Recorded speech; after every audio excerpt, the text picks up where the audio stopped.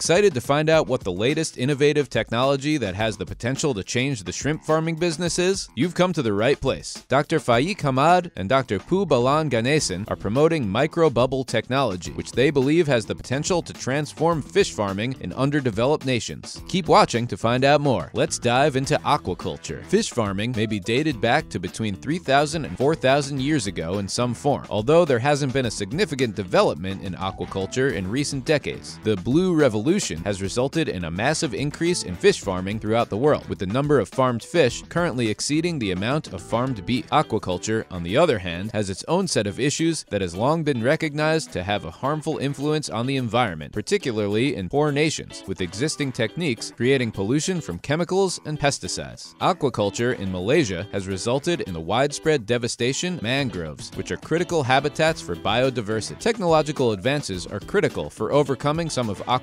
problems. Dr. Faik Hamad recognizes this problem and cooperated with Dr. Poo Balan Ganesan of the University of Malaya in Kuala Lumpur to find a solution. Together, the two were able to build a new method that would address issues encountered by shrimp farmers in Malaysia with the help of 93,000 euro financing from the Newton Fund. What exactly is microbubble technology and why do we need it? They set out to investigate how the use of a microbubble aeration system could be a potential new direction for shrimp aquaculture, lowering costs, increasing productivity, improving land use efficiency, reducing energy requirements and the environmental impact of shrimp farming, and putting the industry on a more sustainable footing both economically and environmentally. The technology uses a generator to create small bubbles that release free radicals and enhance dissolved oxygen levels in water, cleaning the water of waste products and hazardous microorganisms and increasing production for farmed finfish and shellfish. The microbubble aeration method employs naturally drawn air, which reduces the energy and maintenance expenses associated with compressed air generation. The generator produces tiny bubbles that emit free radicals, OH ions, with an oxidation reduction potential, ORP, of 1.6 V. The little bubbles also boost the dissolved oxygen in the water, which improves seafood yield. Microbubbles have the ability to disinfect water by releasing free radicals into it. This is accomplished through detoxification and destruction of organic contaminants. The goal of using this technique was to promote shrimp development and encourage the circulation of beneficial bacteria known as biofloc, all while running the same or lower energy needs. Teesside University is utilizing Konfer, a free innovation brokerage platform run by the National Center for Universities and Business, the NCUB, to recruit business partners to assist in providing proof of concept. Their research discovered that using microbubbles can successfully aid to boost the development rate of shrimps and other aquaculture species, including giant freshwater prawns, while lowering the quantity of clean water required to run aquaculture facilities. What impact will microbubbles have on the industry? Microbubble technology provides a safer, chemical-free, and low-energy alternative to existing water disinfection methods, and we are thrilled that developing countries will be able to access this game-changing technology. Adoption barriers are low, and operating costs are expected to be lower than existing solutions. This pioneering technology is extremely important since its role in cleaning water of harmful microorganisms implies that it can give a safer, chemical-free to disinfectants. Furthermore, the project's adaptability allows for this technology to be implemented in a variety of crucial areas where water is vital to industrial operations. This encompasses the fields of health, agriculture, and aquaculture. Most recently, Dr. Hamad was part of a time-funded study concentrating on possibilities of microbubble technology in water disinfection, and the generator is already being tested for the presence of E. coli in polluted water. Dr. Hamad and Dr. Poo Balan are looking forward to witnessing the effects of their new system as they attempt to improve industry practices through more effective and sustainable methods to farming and food production. Now, from the innovators. Dr. Faik Hamad, Associate Professor in Engineering at Teesside University, believes that this research is extremely important because it aims to decrease the environmental and health-related repercussions wastewater, which will have game-changing effects for the aquaculture industry. Water is crucial to everything from agricultural to industrial activities. As the issue of harmful microorganisms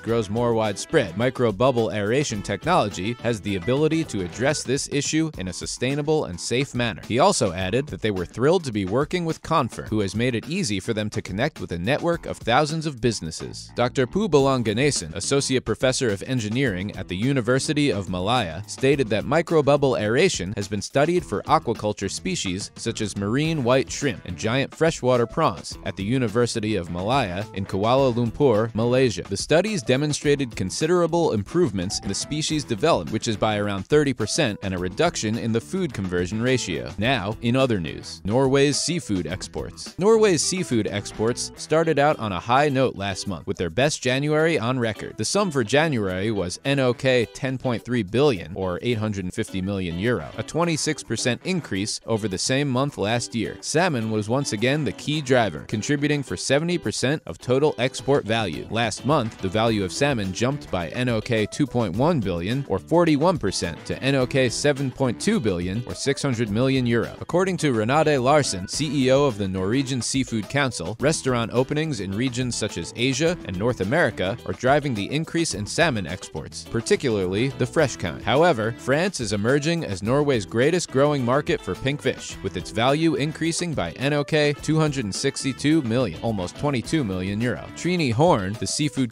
Council's French ambassador, stated that salmon is now being consumed in greater numbers both at home and in restaurants. Next, we have the European Marine Science Park. Mairi Gougeon, Cabinet Secretary for Rural Affairs and Islands in the Scottish Government, presided today online at the formal inauguration of the enlarged European Marine Science Park, EMSP, in Dunstaffnage near Oban. Following a 2 million euro investment by the park's developer, Highlands and Islands Enterprise, the extra laboratory and office facilities have been established at Malin House, which is part of the EMSP. According to HIE, the initiative was inspired by enterprises at the park seeking to extend their commercial activities. The new laboratory and offices were planned in collaboration with those firms, and the construction was completed by a local contractor, TSL Limit. Patogen AS, Tritonia Scientific Ltd, Ocean Ecology, Oceanium, and Shetland Business Ocean Kinetics, which has established new facilities in Argyll, are among the five firms that have expanded into the new workplace. Preparatory work is also underway for the development of three further buildings, one of which has already been awarded planning approval. Next, Atlantic Sapphire. Atlantic Sapphire, a land-based salmon grower, has reached an agreement with feed giant Skretting and algal oil experts Veramaris to replace 25% of the fish oil content in its feed. Algal oil from Veramaris will take the place of fish oil. The action advances Atlantic Sapphire's goal of eliminating marine elements from its aquafeed by 2025. ASC and MSC certified Veramaris algal oil was created as a sustainable supply of both EPA and DHA omega-3 fatty acids, and it is used to augment or replace fish oil across the aquaculture value chain, from feed producer to retail. According to the business, the oil has the greatest potency, above 60%, available on the market. Atlantic Sapphire raises salmon at its RAS, Recirculating Aquaculture Systems, Bluehouse facility in Florida after a fire damaged its main RAS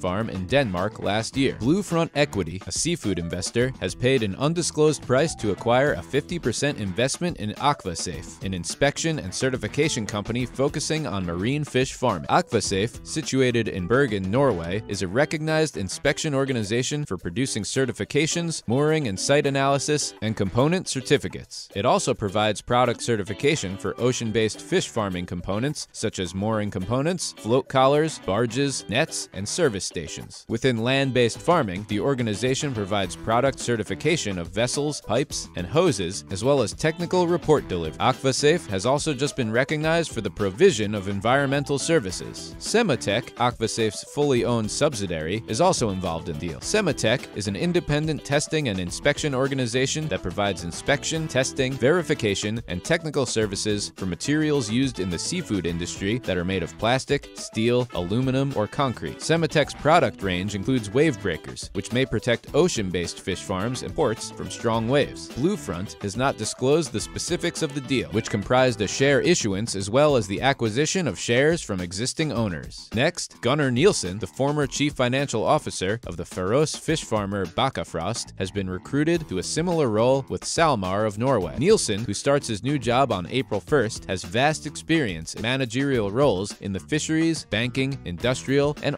auditing sectors. He is also well versed in operations such as board work, financial management, porting, and financial communication in publicly traded companies. That's a wrap for this video. Do you think the new microbubble technology could revolutionize the aquaculture industry? Let us know in the comments below. Make sure to give this video a thumbs up and subscribe to our channel for more videos like this. See you in the next one.